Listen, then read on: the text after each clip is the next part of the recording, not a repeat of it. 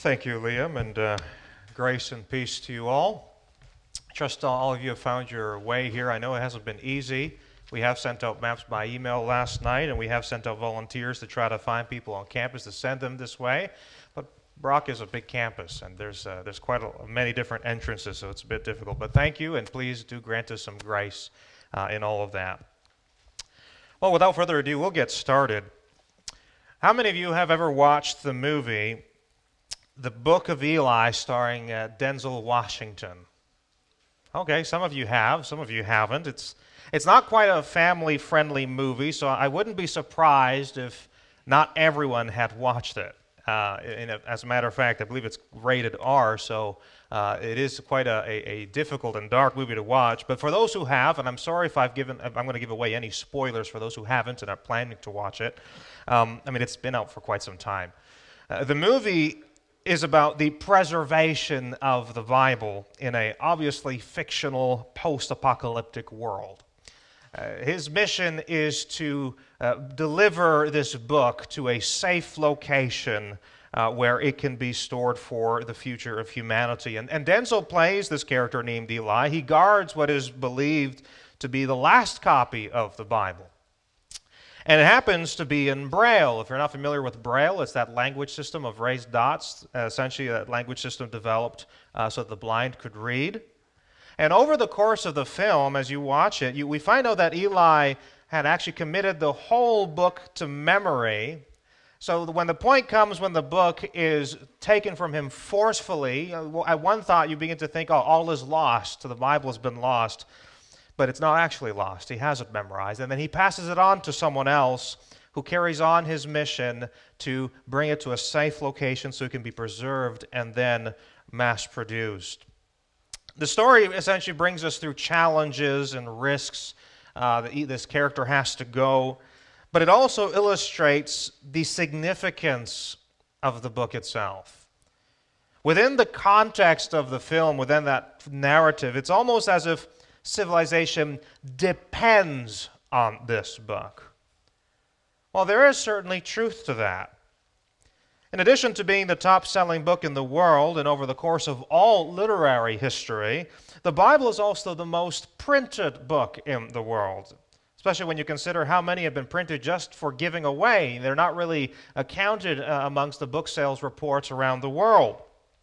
For missional causes, many have been produced. And just to give you a bit of an idea, this is a few years back. In 2015, the Guinness Book of World Records estimated that more than 5 billion copies of the Bible had been printed. 5 billion copies. There's not a single book in the history of mankind that comes close to that number. The Bible is of such significance, it is of such power, that as per Steve and Jackie Green, the founders of the Museum of the Bible based in Washington, D.C., if you haven't been there, I certainly recommend it. It's a fantastic place to go. They say it's impacted and given shape to much of Western human history. And later today, in our final session, uh, Vishal Mangalwadi will be speaking much to that as well. And they wrote the following I quote Indeed, the Bible has stirred up controversies that have affected empires. People have been burned alive in their attempt to translate it for the common person. It's been the source behind those who worked in England to abolish the slave trade. It has challenged cultural views on women, children, and the oppressed. It guided the first Christians in the first century toward a morality unseen in the Roman world. It moved a young monk to call out injustices in the church, an act which led to the Protestant Reformation. It has inspired artists such as Bach and Rembrandt it was the guiding light for world changing intellectuals like Blaise Pascal. Its printing was one of the most significant events of the last millennia. End quote. Well, could you expect anything less from the inspired, inscripturated Word of God? What is the Word of God? Now, for those of us who come from a Christian background, the question, what is the Word of God, might seem a bit redundant. But for those of us here who perhaps do not espouse a Christian or biblical worldview, or even for those who will look at our sessions later online, the Word of God is the entirety of the Old and New Testaments. The Bible is a collection of 66 books, 39 books in the Old Testament, 27 in the New Testament. And the word Bible is derived from the Greek word biblia for books, which, though plural, came to be used as a singular noun and stands for the collection that we as Christians acknowledge to be the Word of God. Now, this idea or concept of collecting these holy writings into a formal collection developed in early Hebrew Christian thought. The prophet Daniel, for example, spoke of the prophetic writings sometime in the 6th century BC as the books in Daniel chapter 9, verse 2. The writer of 1st Maccabees referred to the Old Testament corpus in the 2nd century BC as the holy books in chapter 12, verse 9. Jesus referred to the Old Testament books as the scriptures in Matthew chapter 21, verse 42. And another one of the AD side of history, the Apostle Paul referred to them as the Holy Scriptures in Romans chapter 1, verse 2. Altogether, the entirety of this corpus of literature is inspired. It's breathed out, God breathed, for that is what is meant by the term. Not because the church declared it to be inspired, historically, through the history of the church and the church fathers, it has always declared that the church has discovered the inspiration of the word, has not declared it or determined it to be, but because the scriptures declare themselves to be, and because its propositions can be verified as being true. Where do the scriptures declare themselves to be God's breathed out word? 2 Timothy chapter 3 verses 16 to 17. All scriptures breathed out by God and profitable for teaching, for reproof, for correction, and for training in righteousness, that the man of God may be complete, equipped for every good work. Now, a noteworthy fact on the words inspiration, and this was presented by Greg Bahnsen in one of his lectures. He was a Christian apologist and intellectual who's long since gone to be with the Lord. The Bible is the only holy or religious book that self testifies of its inspiration. Not the Quran, not the Vedas, not any other religious book. As a, and as an inspired text, it is in fact infallible, which means it cannot be wrong in what it teaches. It's also inerrant and means it's free from all errors. Why? Because God Himself, being the source of this revelation, is infallible and inerrant. Now, that's some very basic bibliology for some of you, and I know probably some of you are saying, well, you know, I came here for something a little bit deeper, something maybe more like a steak I can munch on. where we're going to take a bit of a deeper dive into the nature and role of the Word of God. Well, the Bible is more than just a collection of religious books. It's more than just a historical and cultural treasure trove of literary antiquities. It's more than a highly revered book for a religious community that calls itself Christians or followers of Christ and whatever branches within Christianity you could possibly imagine. Given that the Bible is the inspired Word of God, note the singular here, underlying all the diversity of the Scriptures is the unity of the Word of God. And given that there are no sure grounds in our human methods, this is because we're fallen and limited beings, which I'll expand on later. The Word of God is the only firm foundation for all of human life. Not just for the Christian, not just for the supposedly religious, as if religious neutrality was ever a thing, not just for the reader, but for all of humanity, for all of civilization. I'll put it another way. The Bible is the only lens by which we can see the world for what it truly is, and by which we can order our lives. I'll repeat that. The Bible is the only lens by which we can see the world for what it truly is, and by which we can order our lives. Since the Enlightenment, Though we do see traces of this in the patristic age, that is to say, the age of the church fathers and early church history, uh, with the meddling of Greek philosophic thought, we see plenty of that. There's been an increasing tendency to approach the word with our own presuppositions, our own pre committed beliefs, presuppositions which are contrary to the word. And while this is true of fallen man ever since the word was first given progressively. We understand the Bible was not given in just one fell swoop, it was a, pro- a progressive revelation over the course of history. It has, however, become much more systematic, much more consistent. And on such occasions, when we bring our own presuppositions to the Word, the meaning of the Word is lost to the reader. William Tyndale, the English Bible translator of the 16th century, once wrote that the Christian scholars of his age were pumped full of so much scholastic and heathen methods and thought and elaborate humanistic uh, devices and machinations that when the time came to read the scriptures, it was like a wall had been built around it and its meaning had been locked away. Now, I'm paraphrasing, of course. Obviously, I did not memorize what Tyndale wrote. You want the original quote, it's there on the screen. But the point he makes was valid. The truth is, it's not we who come to our understanding to the Word of God. It's not we who bring our own presuppositions to the Word of God. As the American Christian philosopher H. Evan Runner had put it, it is the Word, which is the power of God, that comes to our hearts and opens our eyes so that we may understand the singleness of meaning of all the many Scriptures as the inspired Word of God, it's therefore authoritative.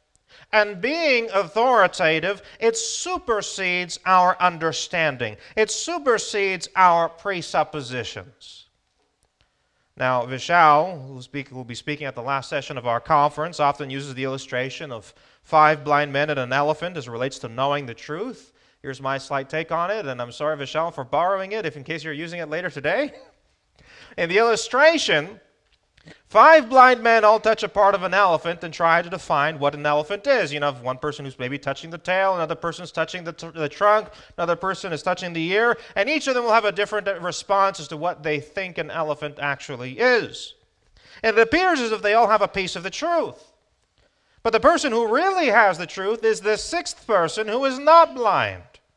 The only person who could possibly tell it just as it is. You see, we are limited beings. We're incapable of grasping the total cosmic scale of our reality. And the effect of our sin further hampers our efforts, causing us to suppress the truth. The Apostle Paul, in his letter to Rome, wrote, For the wrath of God is revealed from heaven against all ungodliness and unrighteousness of men, who by their unrighteousness suppress the truth. To translate the latter portion of that verse into more understandable terms, Paul is saying that our nature, tainted by sin, what is sin? The violation of God's law, causes us to suppress the truth, the truth of God. So we cannot possibly arrive at the truth ourselves. We cannot arrive at it independently. The truth must come to us. And it has in the form of the Son of God, Jesus the Christ, who is himself the Word, as well as in the form of God's inscripturated revelation, the Word, which reveals the Christ to us. And what does this Word reveal? Firstly, it reveals who God is. Not sure if you've taken note, but Genesis chapter 1, verse 1 does not begin with man, does not begin with creation. It begins with, in the beginning, God. The God of the Bible is not one of many. The God of the Bible is not some impersonal being or some abstract entity. The God of the Bible is the sole sovereign personal creator God. Secondly, the Bible also reveals who man is, what he is, and who he is meant to be. And of course, I'm including women in that as well because I'm referring to mankind in general. And thirdly, it reveals God's will for man, his purpose, his intended function, his created destiny. And the content of that revelation not only informs us as to the state of things, as to what is, what is not, where things stand, it also serves as a guiding and governing principle as to how we ought to live our lives. And this is laid out in the Word as it relates to our threefold relationships how we ought to live in relation to God, how we ought to live in relation to one another, and how we ought to live in relation to creation. But the content of this revelation is not static, it's not some abstract concept. It's laid out over the course of a historical narrative, a schema that begins with creation, is then followed by the fall, and it ends with redemption, which we should note has not yet been fully manifest yet. We're still in that process. It's in the Word that we learned of the original state of things, what happened that altered the state of things, and what was done to remedy the state of things. With this, we come to understand the world as not being purposeless, as being without meaning, but rather as having an overarching story, a meta narrative. This is what led Runner to refer to the Word as a divine thesis, in the sense that the Word of God posits the truth.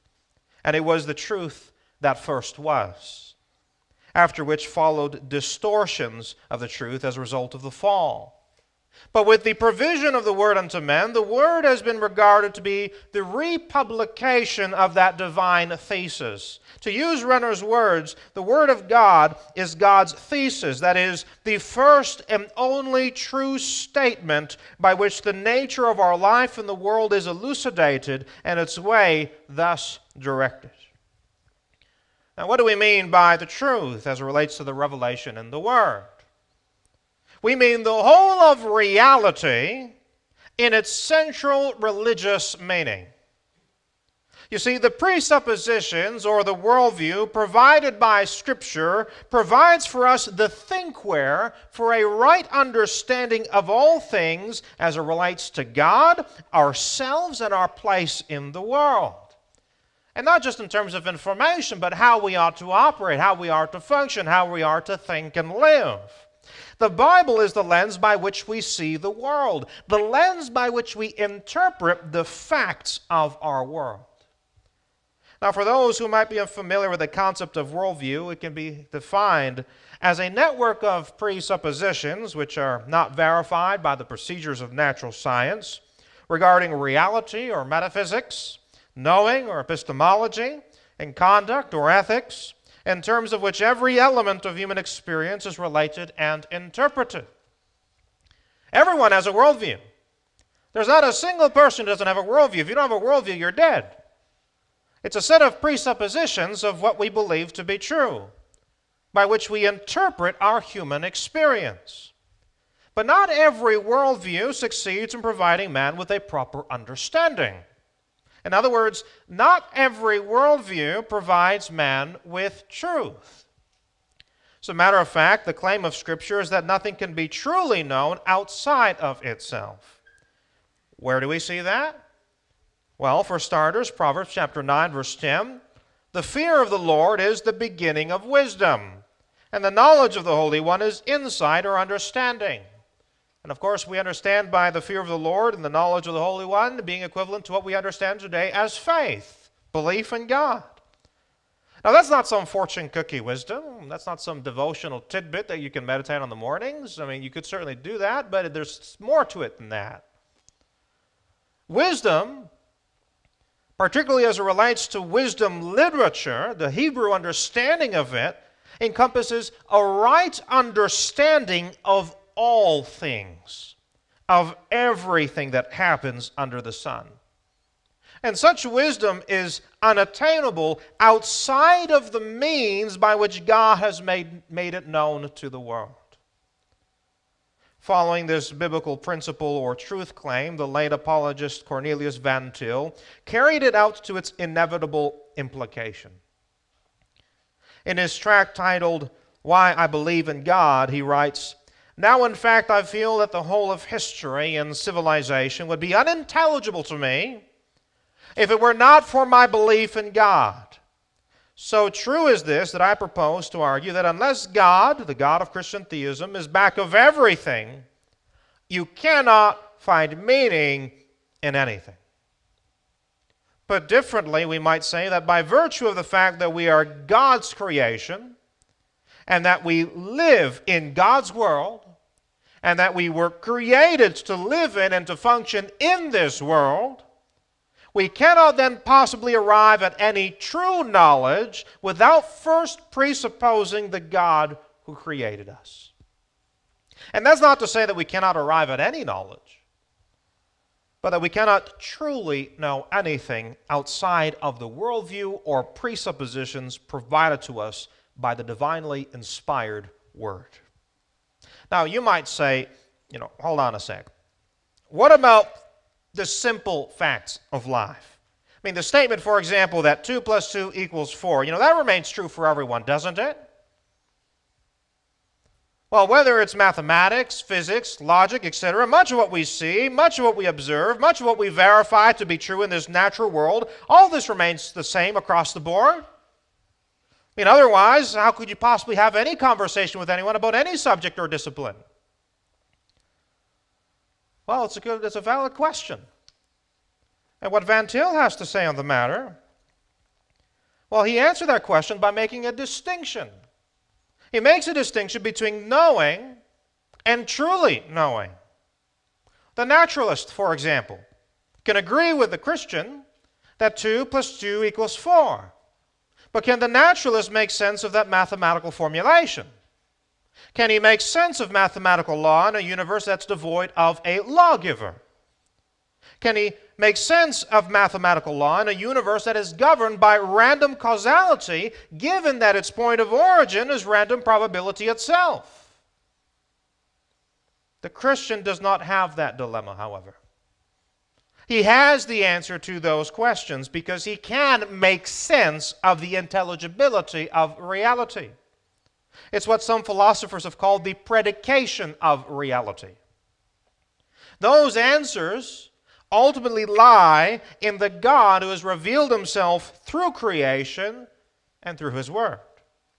And as it relates to creation, I don't just mean the surface level of what Paul refers to in Romans chapter 1 verses 19 to 20, in which he writes, "For what can be known about God is plain to them, because God has shown it to them."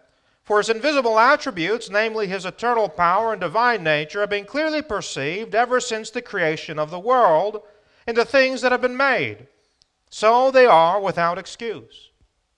I mean, it's true that everyone marvels at the sun, the moon, and the stars. Not that long, not that long ago, people were admiring the northern lights that come all the way down here. And if you had clear night sky, you'd be able to see that, that, that marvel. No, I'm not talking about the surface level. I'm not talking about what we can see right in front of us. I'm referring to creation at a much deeper and sophisticated level drawing the curtains back to see the backstage, so to speak.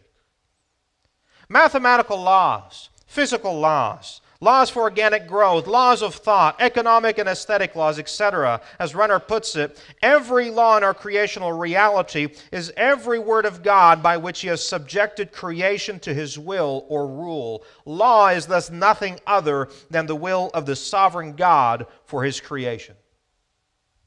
I mean, just look at the whole creation narrative. Look at the two opening chapters of Genesis. It's not possible to have a right understanding of reality, a reality that we can make sense of, if we don't first understand our reality in light of the sovereign Creator God. And to understand such, we need the inscripturated Word of God. We need the republication of God's revelation as it concerns the truth of all things. And that republication was necessary in part because of the noetic effects of sin. That is to say, the influence of sin upon the human mind. What Paul refers to in Romans chapter 1 verse 8. Though also in part because God so willed to also to reveal to us the means of redemption of all things. I mean, this audacious claim, and it is an audacious claim, but it's a claim that the scriptures can certainly make given that that's the inspired Word of God, that we cannot truly know anything outside of the worldview or presuppositions provided to us by Scripture, might lead us to question our whole learning process as it relates to the very disciplines. How can we truly know anything in the disciplines? How much can the disciplines inform our understanding of the world, if at all? The answer, of course, is not irrationalism. But the answer is not either found in rationalist thought and whatever came about from the Enlightenment and rationalist thinking. You see, we've all been culturally conditioned, and this due in part to the influence of Enlightenment or rationalist thought, to think that the disciplines or the sciences can be viewed and understood as abstract or independent entities And for many, these entities have actually become absolutized or even deified. And I'll talk about that later. But to partition away the disciplines or sciences from their central unity of meaning is to take away what makes those fields meaningful and intelligible. The late Dutch scholar Vollenhoven, as well as Van Til, argue that to understand the varied disciplines or sciences, one must see them in the revealing light of the Word of God. It's not to say that the Word serves as a textbook, as a guide to the disciplines. No one says that. No one's saying that the Bible is going to teach you chemistry, physics, and all you need to know about the natural sciences. Not directly. But rather that the Word provides for us the intellectual parameters, the propositional truths by which we can rightly understand the disciplines. To put it another way, it's when we understand what the Word of God is and the function that it ought to occupy in our lives that we can then have a biblical Christian worldview by which we can see the world and by which we can order our lives. An excellent illustration of this truth was provided by R.B. Kuiper, former chairman of the faculty of Westminster Theological Seminary and former president of Calvin College. Initially, the illustration was meant to convey the function of man within the created order that he had been created for. But it also serves to explain how we can only make sense of reality within the Christian worldview, within the truth itself. The illustration consists of an elderly woman, a friend she visits, and a fish. And it goes as follows An old lady went to visit a friend. When her hostess disappeared into her kitchen for a few minutes, this peculiar lady got up out of her chair and, walking about the salon, found a bowl of tropical fish behind the grand piano. And in a sudden inspiration, she reached her hand into the bowl, lifted out one of the fish, and dropped it tenderly onto the rich carpeting that covered the floor. And as she did so, she muttered to herself, Wicked old woman, keeping you shut up in that little old bowl. I'm going to give you the freedom of this whole salon. Of course, the fish promptly proceeded to expire. Why? Because it had been removed from that law area for which it had been created. This is the case with fallen man, the person who has essentially rejected the truth of God. Outside of the worldview or the presuppositions provided by the Word, he can make no sense of our world. He can make no sense of the intelligibility of our world. The necessary preconditions for intelligibility, referred by Van Til and Bahnsen, are forfeit the very moment that man steps outside of the truth and into his imaginary perspective or distortion of the cosmos. And his failure to make sense of reality does not begin with essentially creation outside of himself, but with his own selfhood. What is man? The self is plunged into obscurity, having been yanked essentially from its true religious context. You see, man cannot truly be man if he cannot truly know himself, or the world in which he lives, or the God behind the world. If he is not within the parameters or the presuppositions or the worldview provided by the inspired Word. And what is most telling is that though the natural man has concocted his own antithetical worldview, he does not live according to his worldview, at least not consistently. The run off the mill naturalist, for example, who happens to believe in a non theistic universe, should, in theory, believe in the fluidity of the whole world, of the whole cosmos, an ever changing reality being the inevitable product of random chance. In such a world, there can be no such thing as uniformity. There can be no fixed laws. You know, one moment the law of gravity applies, the next it doesn't, and you're floating off to the moon. One moment you press your toothpaste and it comes out, the next moment you press it again and it goes in. One day 2 plus 2 equals 4, but the next no longer does. It equals 5 or 6 or whatever number you want to come up with. But the naturalist doesn't actually live like that. He doesn't expect that. He doesn't wake up in the morning terrified that maybe he's floated off because the law of gravity's changed. He does not anticipate that. In his living and in his thinking, he anticipates that which is contrary to what his presuppositions imply. Bahnsen referred to this as pushing the antithesis, pushing the consistency of one's thoughts all the way to its extreme. You see, the natural man in his antithetical worldview is a walking and talking contradiction. He believes in an altogether different worldview than what is actually revealed by the Word to be true.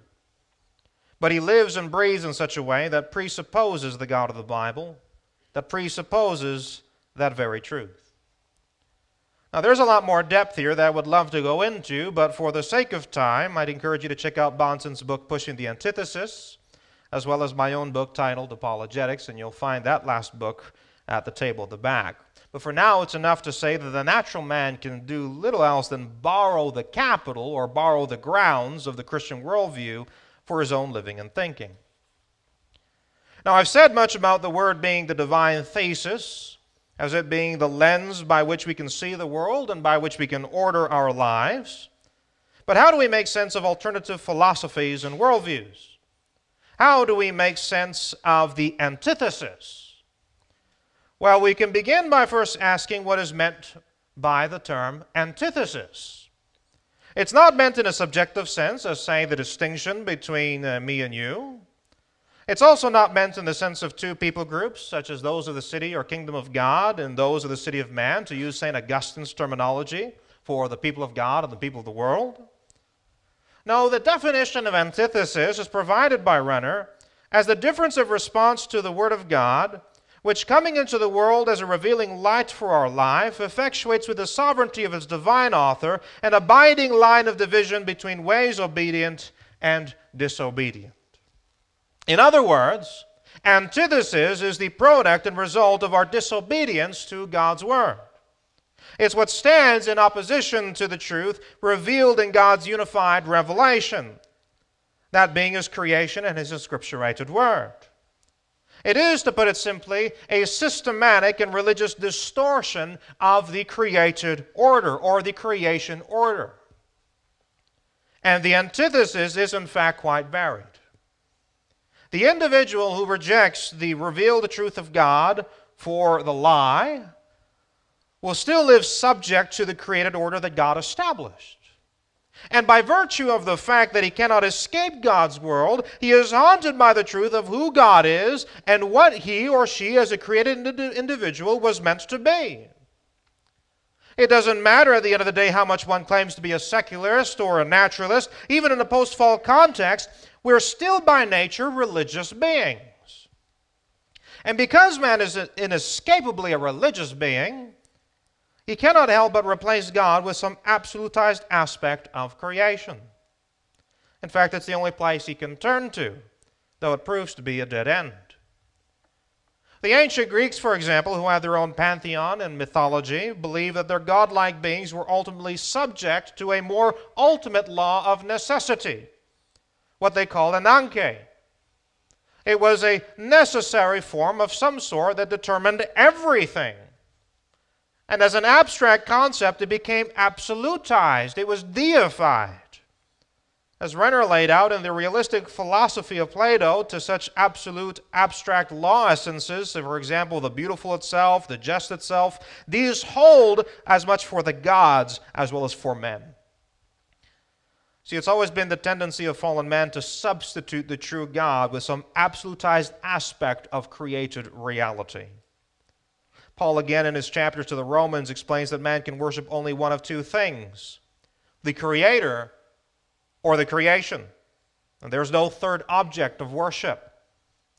Upon this revealed truth, Christian scholar Peter Jones, in his book One or Two, explains that there can really only then exist two types of worldviews oneism and twoism. In a oneist worldview, man worships some aspect of creation. It's a worldview in which there exists no distinction between creator and creation.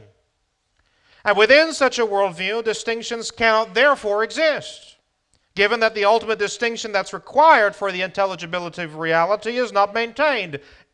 It fails, in other words, to meet the preconditions of intelligibility. If there's no distinction between creator and creation. There therefore cannot be distinction between numbers and letters and alphabets and so forth.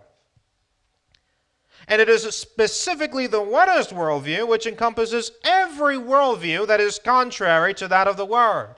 That is the antithesis. While the twoist worldview, on the other hand, is that worldview that does preserve that creator creation distinction. It does meet the preconditions of intelligibility. It is nothing other than the divine thesis, the inspired Word of God. What might be example of the antithesis? Well, returning to man's struggle with understanding himself apart from the Word, consider his attempts to define himself.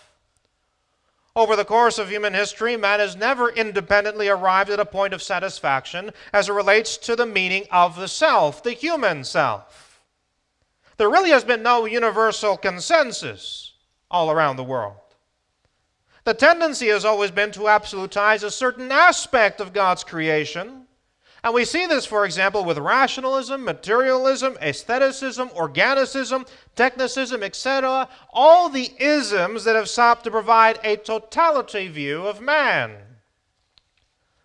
Within rationalism, which, by the way, is an absolutization and deification of our analytical capability, man is conceived of as a rational being.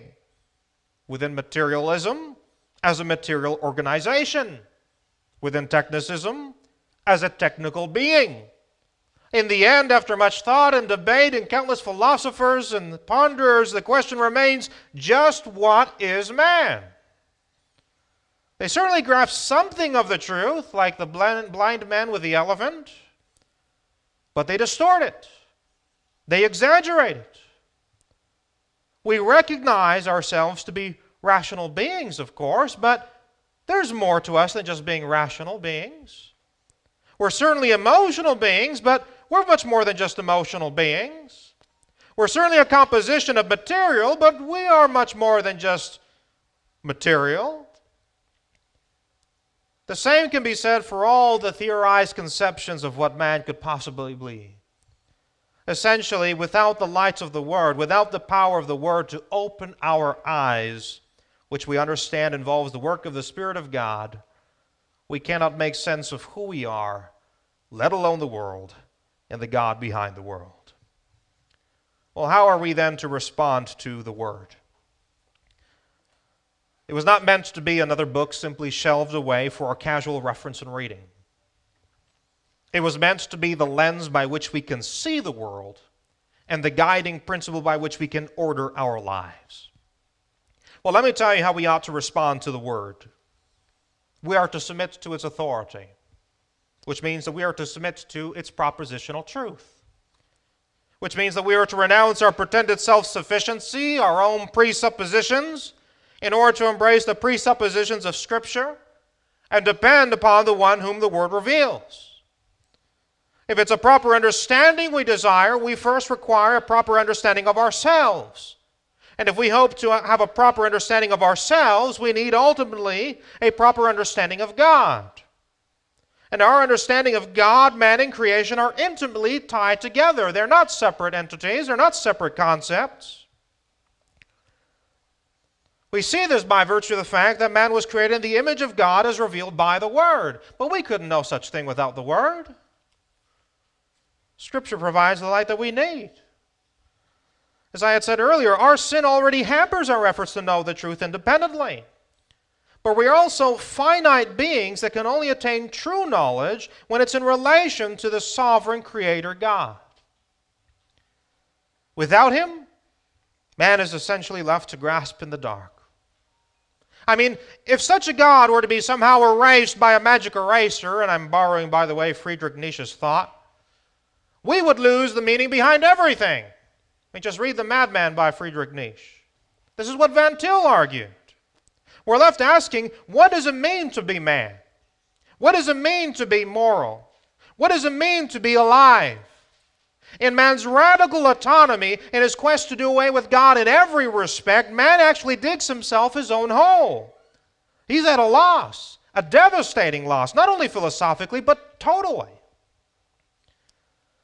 Man can find no true answers to his questions, not independently from the divine thesis. It's the Word that reveals to us the God behind creation, and in light of that, that reveals our own selfhood in its radical integral unity. Why yield to the Word? Because apart from having the thinkware by which we can understand the world and order our lives, we're also promised life. And life not in the abstract sense, but in the person of Jesus and how that is applied to us by the Spirit of God. The order of our lives would be nothing more than mere moralism without the redeeming life that Christ brings. And it's one of the many blessings of surrendering to the Word. And I don't mean a surrendering solely in a spiritual sense, but in a total sense. The Word doesn't reveal to us a privatized devotional spiritual piety. It, re- reveals to us a faith that relates to every aspect and sphere of life.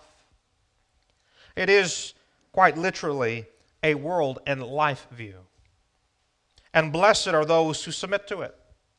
Blessed are those who read it, who study it, who meditate upon it, and who apply its truths. Here are a few passages that speak towards that blessedness.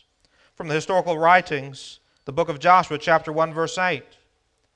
This book of the law shall not depart from your mouth, but you shall meditate on it day and night so that you may be careful to do according to all that is written in it. For then you will make your way prosperous, and then you will have good success. From the book of Psalms, chapter 1, verses 1 to 3. Blessed is the man who walks not in the counsel of the wicked, but his delight is in the law of the Lord. And on his law he meditates day and night. He's like a tree planted by streams of water that yields its fruit in its season, and its leaf does not wither. In all that he does, he prospers from the mouth of Jesus in the Gospel according to Matthew chapter 7 verses 24 to 26. Everyone then who hears these words of mine and does them will be like a wise man who built his house on the rock. And the rain fell, and the floods came, and the winds blew, and the beat on the house, but it did not fall, because had been founded on the rock. And everyone who hears these words of mine does not do them will be like a foolish man who built his house on the sand. And from the pen of James in the first chapter of his letter, verse 25 But the one who looks into the perfect law, the law of liberty, and perseveres, being no hearer who forgets, but a doer who acts, he will be blessed in his doing.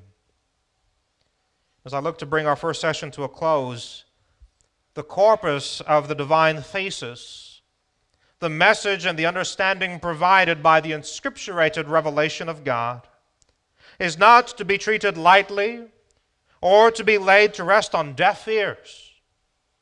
They're weighty. They're weighty words of life.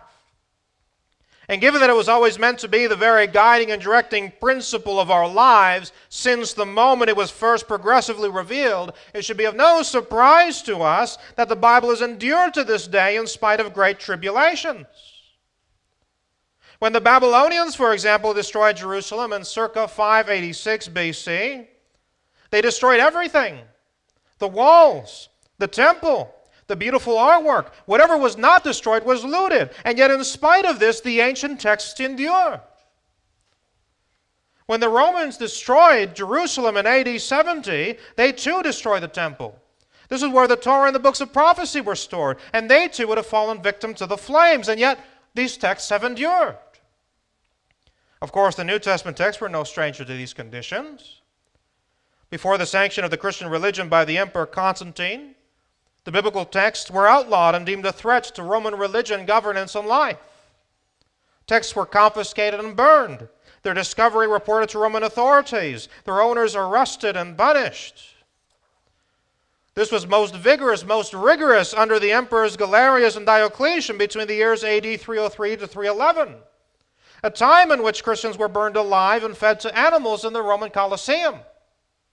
And yet, in spite of all this persecution, in spite of every attempt to censor the biblical text, to expunge it from existence, and to intimidate those who clung to it, it has rigorously endured to this day. I mean, I can go on further in relation to its miraculous history, but our next speaker will have much to say about its transmission and preservation.